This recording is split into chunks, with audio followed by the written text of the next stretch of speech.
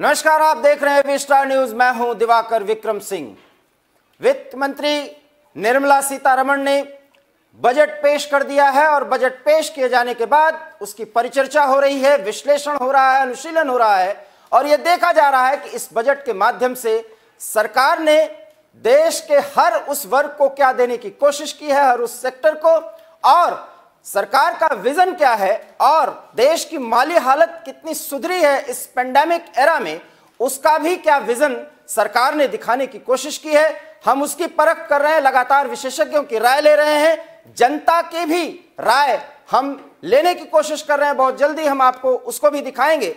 लेकिन हम आर्थिक विशेषज्ञ अभिषेक राजाराम हमारे साथ जुड़ रहे हैं। उनके विचार क्या हैं? इस पूरे बजट को लेकर के हम उस पर बातचीत करने के लिए उनके साथ जुड़ रहे हैं। अभिषेक जी बहुत बहुत स्वागत है।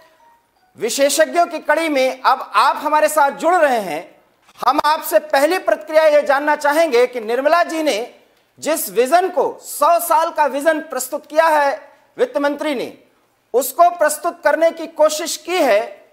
कितना आत्मविश्वास है देश की सरकार को, वित्त मंत्री को और हर उस सेक्टर पर जिसपे सरकार ने यह बताने की कोशिश की है वित्त मंत्री के द्वारा कि हम आगे बढ़ रहे हैं इस पेंडेमिक एरा में भी। जी। सब जानते हैं कि पिछले दो साल से कोरोना पेंडेमिक ने काफ़ी हद तक रेवेन्यूज इम्पेक्ट करे हैं। अगर आपकी हमारी इनकम कम हुई है तो सरकार भी इससे छुट्टी नहीं है उनकी भी इनकम कम हुई है। और सरकार का सोशल एक्सपेंडिचर काफ़ी ज़्यादा हुआ है। चाहे वो डेढ़ सौ करोड़ वैक्सीनेशन की बात हो हेल्थ केयर इंफ्रास्ट्रक्चर पर खर्चा हो बेड्स बनाने की बात हो या आप उन्होंने ऑक्सीजन प्लांट लगाने की बात हो या फ़ूड ग्रेन्स फ्री में देने की बात हो। ऐसे में बजट को एक रिस्ट्रिक्टिव वे में समझना चाहिए। अगर मेरे लिए अगर कोई ये कह रहा है कि ये सौ साल का बजट सौ साल के विजन के साथ बजट है या दस साल के विजन के साथ भी बजट है तो बहुत गलत है। क्योंकि ये बज, इस बजट पर बजट से चुनावी बजट लोग चाह रहे थे कि चुनावी बजट हो। लेकिन वो ये भूल रहे थे कि इनकम भी इम्पैक्ट तो मेरे हिसाब से ये कोई चुनावी ना तो चुनावी बजट है ना दस साल का सौ साल का। ये बजट किसी भी तरह ट्रिपल आर पड़ा खड़ा है कि किसी तरह रिफॉर्म्स को बचाए रहे आर फॉर रिफॉर्म आर थोड़ी रिलीफ दी जाए और सबसे लास्ट आर थोड़ी रिकवरी ये यहीं पर खड़ा है इस ट्रिपल आर ना तो इससे कोई बहुत बड़ा विजन चेंज आ रहा है गवर्नमेंट के ना कोई नई बहुत बड़ी नीतियाँ है कोई मेजर रिफॉर्म यहाँ से नहीं आ रहा। किसी भी तरह इसको आगे लेकर जाने की बात है। तो वो विजन जो होता है ना कई बार कहते हैं कि विजनरी बजट आया तो वो ये नहीं है। ये बजट किसी तरह सीमित संसाधनों में अपना खर्चा चलाने की गुजारा भत्ता चलाने वाली ये जो ट्रिपल आर का कंसेप्ट आपने स्पष्ट करने की कोशिश की है, जो सरकार ने अपने सामने रखा है, कि रिकवरी करना है और किसी तरीके से थोड़ा रिलीफ देते हुए और रिफॉर्म्स को जारी रखना है, तीनों के प्रति सरकार का जो आग्रह है, क्या उसमें कोई भावी विजन नहीं है? रिकवरी में कोई भावी विजन नहीं होता। हम एक बार रिकवर कर गए फिर रिकवरी के बात नहीं होगी। आप अगर बीमार होते हो तो बीमार से ठीक होना कोई विजन नहीं होता। आपको बुखार हो गया तो सिर्फ़ वो बुखार उतर जाए उसके बाद आप ठीक हो जाएँ उसके बाद तो जो आप दौड़ते हैं वो दौड़ने का विजन होता है।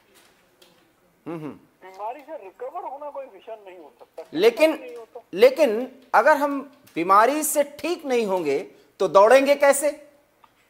रिकवरी का मिशन है ना सर रिकवरी तक बात खत्म हो जाती है। जहाँ आप रिकवर हो गए उसके बाद देश किसी और स्टाइल में आगे बढ़ेगा।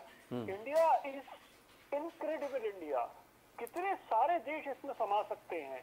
और अतुल्य भारत है। यहाँ पर एक यूथ है और सबसे यंग कंट्री है। तो इसमें आप देखिए स्टार्टअप को बेनिफिट देने की बात हो रही है ग्लोबलाइजेशन की तरफ़ बात हो रही है ग्लोबल जो पैसा आ रहा है उस पर जो एनॉमिलिटी थी कि इंडिया में टैक्स हम ज़्यादा लगा रहे थे उसको ठीक करने की बात हो रही है एओपी बीओआई के टैक्सेशन रेट को ठीक करने की बात हो रही तीन चार साल से खुद गलती करके बैठे हुए थे कॉर्पोरेट सोसाइटी का टैक्स रेट ज़्यादा था और कंपनीज़ का कम था तो वो यहाँ पर एक बैलेंस आउट करने की ठीक कर, करने की बात की गई लेकिन एलएलपी पर आज भी टैक्सेशन रेट पार्टनरशिप फॉर्म वाला लगता है जो कि कंपनी से बहुत ज़्यादा है। तो कहीं ना कहीं जो गलतियाँ हैं उसको सुधारने वाला रेक्टिफिकेशन वाला बजट है। अब जैसे इन्होंने इनकम टैक्स रिटर्न रिविजन का जो पहले दो साल होता था उसको खत्म कर दिया था। धीरे धीरे वो उसी साल का खत्म हो जाता था रिटर्न रिविजन का। यहाँ पर सरकार को अपनी गलती समझ में आई है कि नहीं रिवीजन के लिए टाइम देना चाहिए। गलतियाँ होती हैं। लेकिन उसको जब आज दिया है वो अपनी गलती को ना मानकर एक ज़बरदस्त के तौर पर दिया नया कॉन्सेप्ट है कि अपडेट हो गया रिटर्न तभी दे पाएँगे जब आपका इनकम टैक्स लॉस ना पड़ रहा हो ना हो रही हो। जब आपको टैक्स देना है तभी टैक्स के साथ साथ टैक्स होगा क्या बजट में एक लाख बना दी दो साल तक कर सकते दो साल तक करेंगे तो असेसमेंट ईयर के एक एक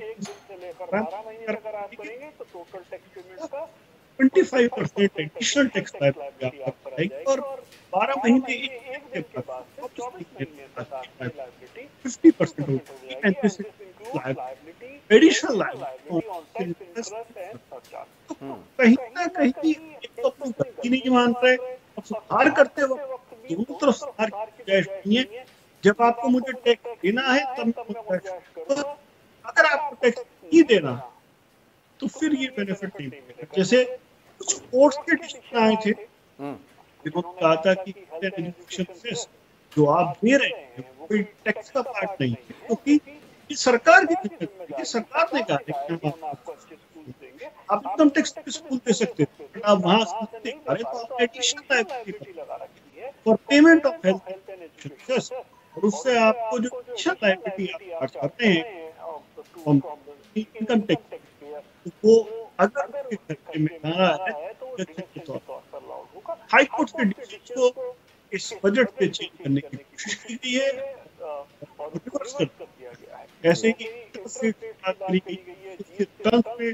मेजर चेंजेस आप खुद सोचिए। 284 पेज का है 199 पेज का मेमोरेंडम मोटा मोटा सौ पेज ये डॉक्यूमेंट बजट एट अलग चीज़ है बजट स्पीच है अगर इसको देखें तो टाइम दिया गया था डायरेक्ट एक्सपोजर को मुश्किल से सात या आठ मिनट और इनडायरेक्ट के लिए पाँच मिनट भी एलोकेट करेगा। 84 अमेंडमेंट 83 अमेंडमेंट आप बताइए क्या आप दस मिनट में समझा सकते हम्म, हम्म, बिल्कुल। सवाल अहम है क्योंकि आप सीधे टैक्स पर आए सर और जितने भी विशेषज्ञ हमारे साथ जुड़ रहे हैं एक आम सी धारणा है और धारणा क्या ये सच है कि इनकम टैक्स स्लैब में कोई बदलाव नहीं हुआ। और जैसा कि सरकार आप कह रहे हैं कि रिकवरी कर रही है रिलीफ दे रही है रिफॉर्म पर उसको बरकरार रखने के प्रति जो है पूरी तरह से आग्रही है, क्योंकि किसी तरीके से उसको आगे बढ़ना है। बड़ा सवाल है कि मध्यम वर्ग को थोड़ी राहत देनी चाहिए थी, सरकार ने क्यों नहीं सोचा?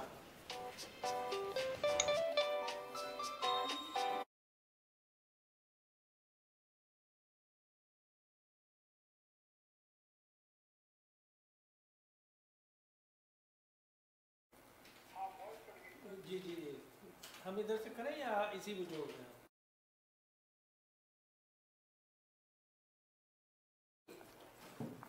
जी आप बताएँ सर हम इस मुद्दे पर हैं कि इनकम टैक्स स्लैब में बदलाव की उम्मीदें रहती हैं परंपरागत तरीके से जब बजट पेश होता है तो यह माना जाता है कि क्या सस्ता हुआ क्या महँगा हुआ और इनकम टैक्स स्लैब में क्या कोई बदलाव हुआ या नहीं?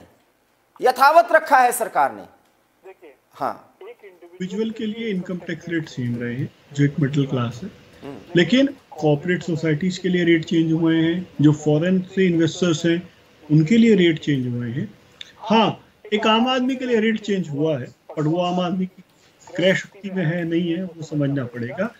जेम्स एंड डायमंड्स को अगर आप इम्पोर्ट करते हैं, उस पर टैक्स रेट कम कर दिया गया है। लेकिन अगर आप छतरी इम्पोर्ट करते हैं, छाता इम्पोर्ट करते हैं तो टैक्स रेट बढ़ा दिया गया। अब आप समझिए इम्पोर्ट करता होगा? या जेमसन मैं वही बात कह रहा हूँ कि आम आदमी और खास करके मध्यम वर्ग थोड़ी राहत वो चाह रहा था ऐसा लग रहा है कि उस पर वही दबाव सरकार बनाए हुए है। क्या कारण है? देखिए मिडिल क्लास एक वोट बैंक नहीं है। मिडिल क्लास एक वोट बैंक ना होने की वजह से जितना भी सोशल स्कीम्स गवर्नमेंट चलाती है उसका बोझ टैक्स पेमेंट का उस मिडिल क्लास पर ही आता है सरकार हेल्थ इंफ्रास्ट्रक्चर पर काम कर रही है। फ्री में फ़ूड ग्रेन्स दे रही है। तो जो फ्री में फ़ूड ग्रेन्स दे रही है तो उसका पैसा सरकार नोट नहीं छाप सकती। आप देखिए जो हमारा फ़िज़िकल डेफिसिट है वो बढ़ता जा रहा है। आप महँगाई देखिए महँगाई सुरसा का मुँह की तरह बढ़ती जा रही है। आप जानते ही साढ़े बारह डब्ल्यू पी आई सीपीआई हमारी फाइव पॉइंट चार percent major and two percent plus minus tolerance यानी six percent highest tolerance five point हम बैठे अगर ये ब्रीच कर गए, बिल्कुल लाइन मार अगर ये ब्रीच कर गया और हम सितंबर अक्टूबर तक सितंबर अक्टूबर तक अगर हम इन्फ्लेशन को कंट्रोल नहीं कर पाए तो ये बेकाबू हो जाएगी। और शायद अगर एक दो साल शायद एक दो साल। ये इतना ड्रास्टिक नुकसान कर के नहीं कर पाए जान माल की तो इन्फ्लेशन से नहीं होगी लेकिन व्यापार का काफ़ी नुकसान हो सकता है। India only country in the world जिसकी सप्लाई चेन डिस्टर्ब हुई। We switch to virtual mode, we switch to apps, we switch to other modes, लेकिन हमारी सप्लाई चेन नहीं कर पाया हमारे यहाँ इस काम करा। फ़ूड ग्रेन्स की हमें कभी कमी नहीं हुई। अल्लाह अफसोस कि अगर हमें खाना भी देश से मंगवाना तो तो ये कई कुछ अच्छी चीज़ें हैं। कुछ सेक्टर्स को राहत देनी चाहिए। मैं फिर वही बात भारत इतना बड़ा देश है कोई भी एक समाधान सब पर हो ही नहीं सकता। और ये एक बजट से चीज़ें होने वाली नहीं है। इसके लिए अलग अलग राय अलग अलग तरीके से एक एक सेक्टर को पकड़कर पैकेज देना पड़ेगा। अदरवाइज़ बी शेप रिकवरी नहीं आएँगे we always end up as shape shape recovery sectors recover हो जाएँगे, चले जाएँगे, कुछ सेक्टर्स रिकवरी नहीं तो यहाँ पर डिटेल में काम करने की ज़रूरत है। एंड आई होप देखिए, ये जो बजट है इस बजट से अगर आप फ्यूचर के लिए विजन निकल आएगा तो वो नहीं। पॉसिबल ही नहीं इसके लिए एक सही समय के बाद स्वस्थ हो जाएगा खत्म हो जाएगा तब एक विजन की बात आएगी। तब वो विजन अभिषेक जी आपकी बात से देश की वास्तविक स्थिति जो है जहाँ तक अर्थव्यवस्था का सवाल है वो निकल करके सामने आई है कि ट्रिपल आर पर ये सरकार आगे बढ़ रही है क्योंकि अगर हम रिकवरी नहीं कर पाए रिफॉर्म्स को जारी नहीं रख पाए इन्फ्लेशन को अक्टूबर नवंबर तक अगर इन सारी व्यवस्थाओं से, प्रावधानों से कंट्रोल नहीं कर पाए तो पेंडेमिक का जो असर पड़ रहा है और पूरी दुनिया के तमाम देशों पर, हम चीन का भी ज़िक्र करेंगे और उसी संदर्भ में इस अर्थव्यवस्था के विकास में, इस बजट में जो आयात निर्यात को लेकर के हमने जो घोषणाएँ की हैं, कई अच्छी बातें भी बताई गई हैं। हमारा फॉरेक्स भी जो है, वो बढ़ता हुआ दिख रहा है रिकॉर्ड स्तर पर है। क्या आपको लगता है कि इस ट्रिपल आर पर जो हम चल रहे हैं और पेंडेमिक को जिस तरीके से हम हराने के मोड में हैं, दूसरे देशों से हमारी स्थिति बहुत अच्छी है, जहाँ तक कि आपने फ़ूड सप्लाई चेन पर आपने बात की, एक बहुत ही सुखद पहलू है। आपको लगता है कि इस ट्रिपल आर पर बढ़ते हुए हम आगे विजन पर आएँगे ही, क्योंकि फाइव ट्रिलियन इकोनॉमी को भी हमें गेन करना है। और साथ ही साथ, चीन जो हमारा प्रतिद्वंदी है उसके बराबर में या उससे आगे जाने की होड़ में हमें रहना है हम उसको भी प्राप्त कर लेंगे। देखिए विदेशों की इकोनॉमी और अपनी इकोनॉमी को हम कंपेयर गलत करते हैं। फॉरेन की जो इकोनॉमी से अगर वो दो को दो ट्रिलियन डॉलर है या तीन ट्रिलियन डॉलर है तो वो एक्सपोर्ट बेस इकोनॉमी से। हमारी कंजम्पशन बेस इकोनॉमी हम जो बनाते हैं ज़्यादातर खुद ही कंज्यूम करते हैं। हमारा लगातार इंपोर्ट कर रहा है। फाइव ट्रिलियन डॉलर इकोनॉमी हम फिर भी बन जाएँगे। क्योंकि हमारे आबादी बढ़ रही है और तो आबादी तो consumption base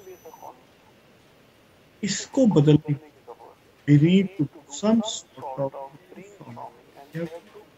indulge ourselves manufacturing हमारी कोशिश ये रहती है कि हम सर्विस सेक्टर को बहुत अच्छे नाम से लेकिन मैन्युफैक्चरिंग में हम नाम नहीं बना पाए।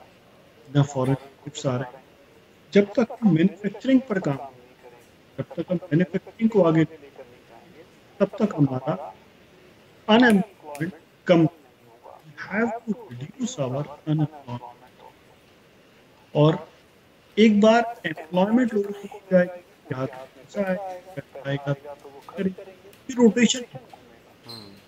खर्चा कौन?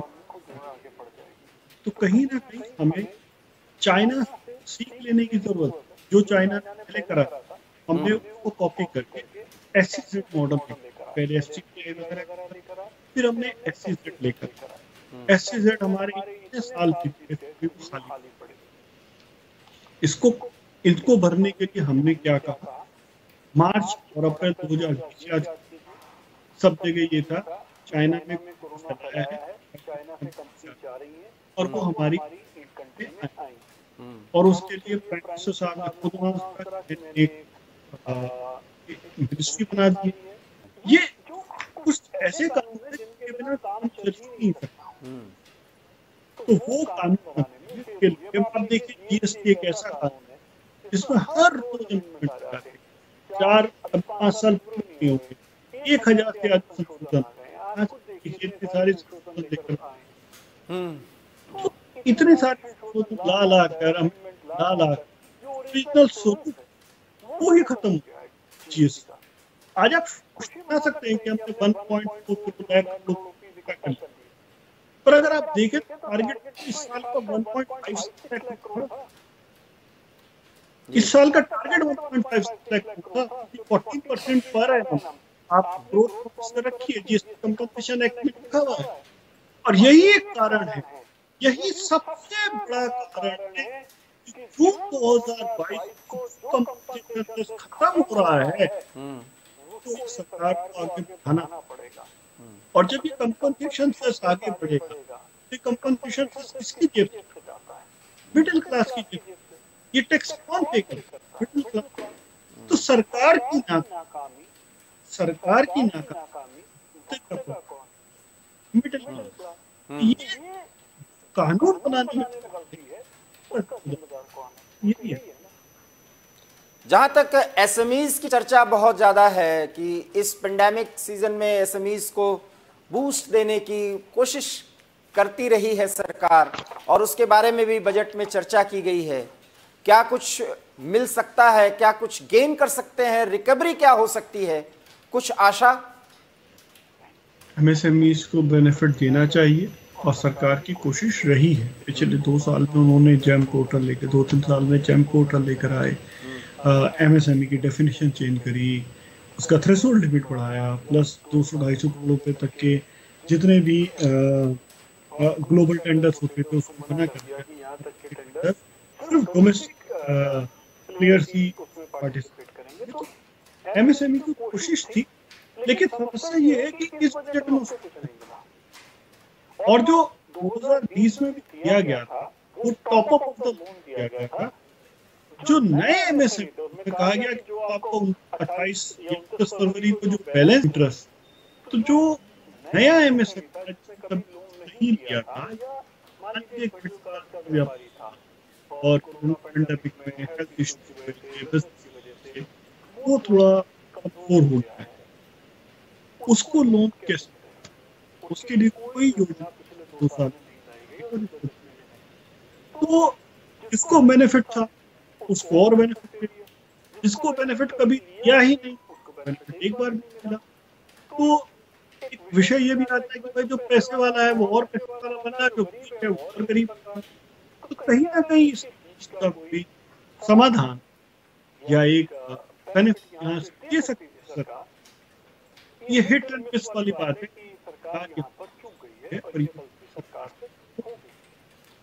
गाँव की अर्थव्यवस्था को बूस्ट देने की बात कही गई और संदर्भ है किसान का प्रसंग भी रहा है आप जान ही रहे हैं। और ऑर्गेनिक खेती पर ज़ोर देने की बात कही गई है बजट में एलोकेट भी किया गया है ठीक ठाक धनराशि। बहुत आशान्वित है सरकार। क्योंकि कहते हैं ना कि बिना खाद के तो कुछ पैदा होता नहीं। अब ऑर्गेनिक खेती पर ज़ोर। बहुत आगे बढ़ रही है सरकार। क्या मायने हैं इसके? आज से तीस चालीस साल पहले जितनी भी खेती होती थी सारी ऑर्गेनिक ही होती थी। ये ऑर्गेनिक वर्क तो हमारा ही है। कहा तो उस पर ज़ोर देना सही है। चलिए चलिए कोई बात नहीं। 2022 तक सरकार को किसानों की आय डबल करनी थी। किसानों की आय डबल नहीं कर पाए। इसीलिए प्रधानमंत्री सम्मान निधि के तौर पर six thousand rupees per annum आप दे रहे हैं। इसकी और अगर आप economic reform economic survey report कल उसमें भी ये बात लिखी है किसानों की आय डबल करने के लिए हमें वैरायटी ऑफ़ द क्रॉप्स चाहिए। ये ट्रेडिशनल क्रॉप्स पे जो डिपेंडेंट है उनके लिए आय डबल करना बड़ा मुश्किल है। तो आपको मिक्स एंड मैच बनना पड़ेगा। जैसे जैसे आपने अभी सुना होगा कि एक जिला एक प्रोडक्ट कुछ इस तरह का भी आया है। जो प्रोडक्ट के लिए बट आपको मिक्स मैच करना होगा। आपको ट्रेडिशनल खेती भी करनी पड़ेगी प्लस साथ साथ कुछ ऐड करनी पड़ेगी तब जाकर आपकी इनकम डबल होता है। सरकार एक जगह और चुकी जैसे पुराने समय में याद करें हरित क्रांति ग्रीन रेवोल्यूशन ऐसे ही दूध को लेकर एक मिल्क रेवोल्यूशन लेकर आएगा तो वाइट रेवोल्यूशन ऐसे ही 2016 के बजट में 4,380 करोड़ रुपए मांग गए थे जेठ Shri Arun Jaitley ji for aqua relay aqua reform revolution fishery के क्षेत्र।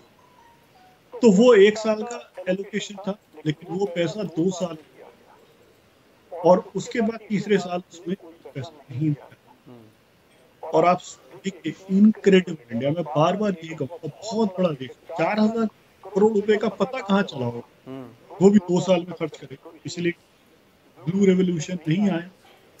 अगर आपको सच दो हज़ार बीस में मार्च तो 2020 में जो बजट आया निर्मला सीतारमण उसमें उन्होंने कहा था कि सौ ऊर्जा में काम करेंगे किसान। किसानों को ऊर्जा मिलेगी और साथ साथ उनके लिए रेलगाड़ी और हवाई जहाज़ प्रॉमिस किए गए थे। रेल का एक एक रेल का ट्रायल हुआ अगस्त दो हज़ार बीस उसके बाद वो ट्रेन दोबारा चली तो ये जो बजट में अनाउंस हो जाते हैं वो कह दिया गया कि because of corona pandemic start नहीं हो पाई।